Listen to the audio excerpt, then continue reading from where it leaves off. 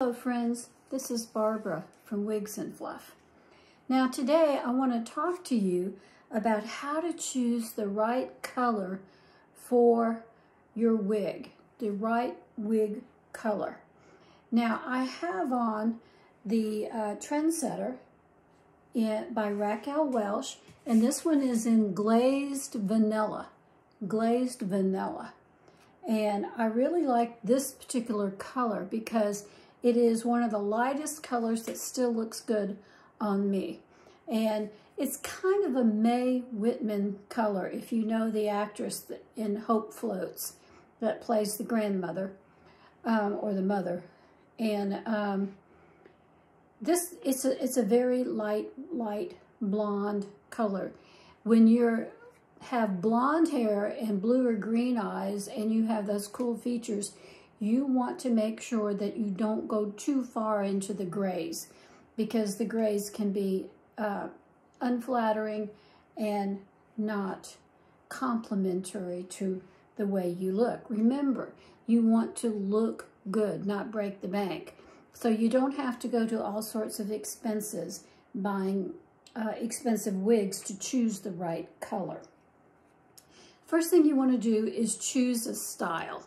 And whatever style you choose, make sure it's one that flatters your face shape. That's the first thing. And this one does. It kicks out to the side. It's got a little height and it's got fluffy bangs for me. And I really like this one. I'm not wearing earrings today because I've got like six wigs to show you different colors. So I'm not wearing wigs. I don't wear it when I have a whole bunch of wigs. I've found that they get tangled up in the wig. So I don't do that. So the first thing you want to do when you're choosing your color is decide if you're a warm skin tone or a cool skin tone. And I would be a cool skin tone. Warm skin tones, I have a, um, actually I have a whole video which I will leave a link to in the description box below explaining all about how to figure out whether you're warm or cool and all about skin tones and so forth. So once you determine that, we're going to go on. Um, determine whether you're warm or cool. Warmer tones will look good in cool tones color because it complements it. So you want to choose blondes and you want to choose cool browns and brassy reds. So those are people with uh, warm skin tones. For darker skin tones, go two to three shades lighter or darker than your natural hair color for contrast because otherwise you'll look all the same like a monotone. So you don't want to do that. You want to you don't want your hair color and your skin tone to match or be so close that it just makes you look all one color. So you want to go two to three shades lighter or darker. So anyways, I'm going to move on and I'm going to move off this wig. This is one of the prettiest color of light blondes that I have. And this is glazed vanilla. And I really like this color by Raquel Welch. So I'm going to put that one up by its wig head. The next one is a beautiful color of gold blondes. This is a really cool example of gold blondes with cool tones like mine. So you're going to find out, and I'm going to show you later on about warm tones. Okay, so this is a Paula Young wig, and this is in Golden Lights. And you can see the beautiful gold tones in this wig. And that's what really makes this wig stand out. Sorry, I have to get my, my mirror. Stand out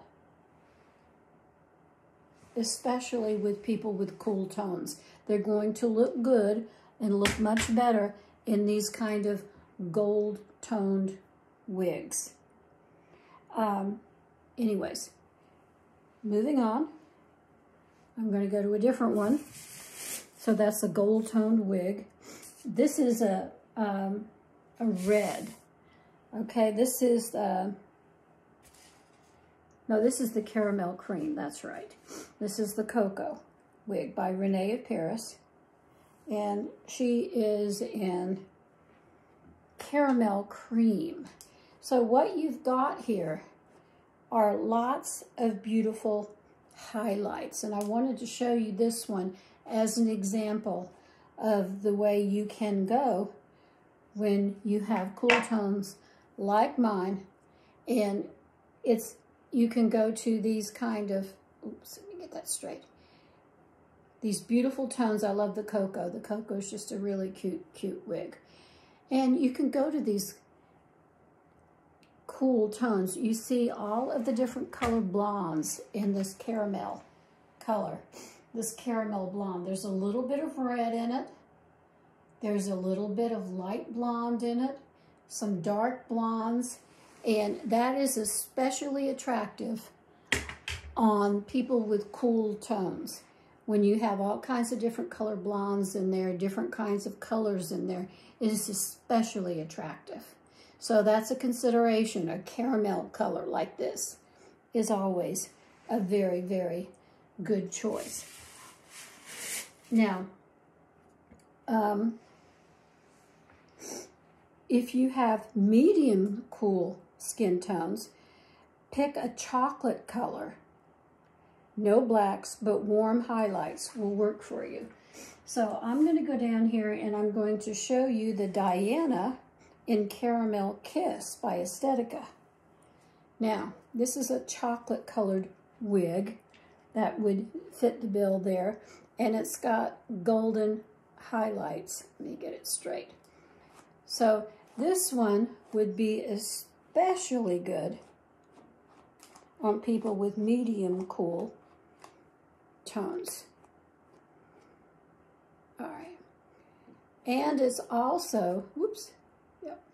it also works for um, girls like me with the uh, cool tones because it contrasts the eye color and it makes my eyes pop. So these browns and dark colors, but also with the gold, all of this, this is Caramel Kiss, and with all of these gold tones in it, it absolutely is amazing color on blondes. People who are naturally have cool tones and are blonde haired, blue eyed, green eyed, whatever.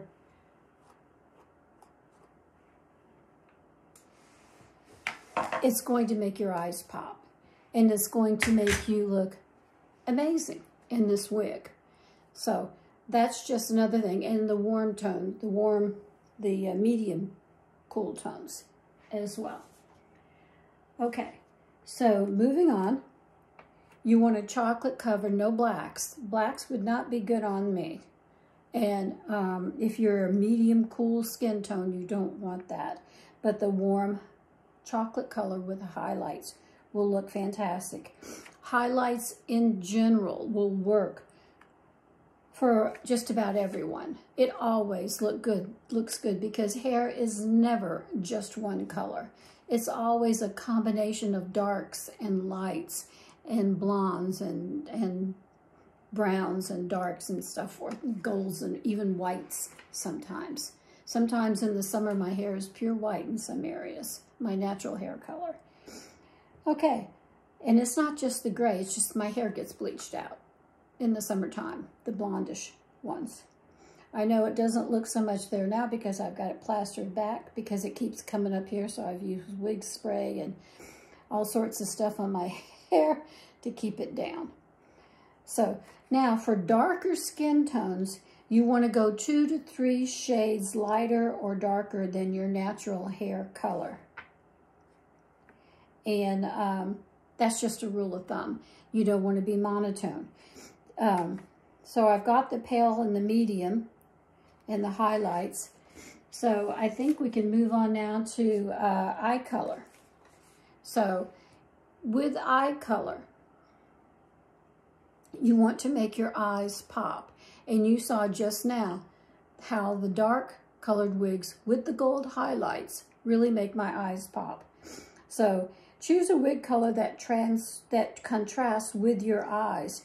If you have the warmer eyes, you want to choose with a brown, yellow, green, green, green, blue, turquoise, and so forth, you should try a cooler toned wig like blondes, light reds, soft browns with gold highlights. And here I have a lighter shade of red. This is the caramel in Soft Romance. And this is a color that really does look good with my green eyes. Now I've got blue eyeshadow on, so today they're looking kind of blue. More blue than green. Sometimes they do that. so, anyways, here is the Soft Romance, and this is in that caramel color. And you can see how beautiful the, the light reds can look on a cool complexion like me. Just really, really stunning, actually. Got a proposal of marriage one time. Just kidding. But anyways, it is this red skin tone. I mean, this light red color, not skin tone, but the light red color that really, really can look amazing. So you can choose, you know, a really light, light blonde, like the trendsetter, or you can choose the golden, like the golden lights, or you could choose the caramel color with all of these colors in it, darks and lights and blondes and reds, all in there, or you can choose a pretty red. So this is just a gorgeous color on a cool person. Now, people with warm skin tones, remember, are going to go and wear, where is it? Um, blondes, cool browns, and brassy reds. Blondes, cool browns, like this one back here, and brassy reds. This is a lighter shade red, the soft romance. I'm talking about a brassy red. Would look good on a darker complexion, someone who has warm skin tones. Now, this is the Frenchy, and this is iced champagne color. So this is another one that looks really, really good on cooler skin tones.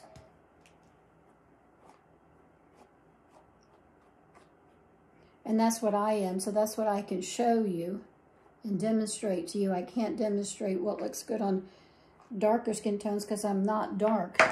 So anyways, this is the champagne color, which is beautiful. This is the little Frenchy by Tony of Beverly Hills, one of my little favorite wigs. And you can see how that champagne color just looks amazing. And it just highlights my skin and makes me glow. It just really does. It's a beautiful wig, and I've got so many compliments on this particular wig and the color. So, so, so, so many. Okay, now there's one last wig I'm going to show you.